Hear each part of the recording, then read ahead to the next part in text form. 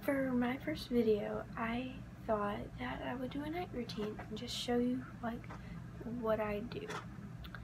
So yeah, let's get started. Okay, so right here I'm just getting my towels to go take a shower. So I just got out of the shower. Now I'm about to go blow dry my hair.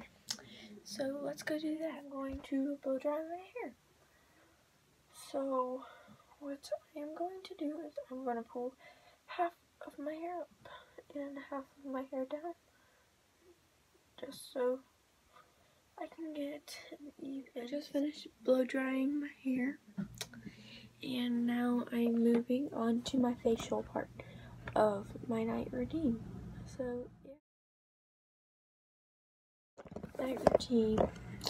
Um there's not much to it, but I do put this dry shampoo into my hair just on my roots.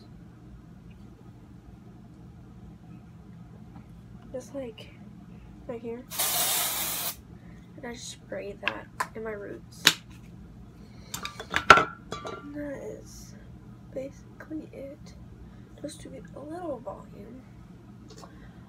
Um, and yeah, other than I take my medicine, or my melatonin to help me go to bed. And then I go to sleep.